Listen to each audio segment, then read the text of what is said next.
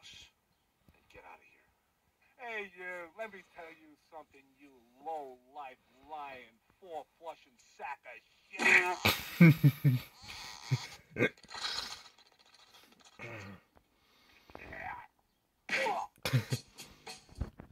That was awesome, Uncle Buck. I knew I could count on you. well done.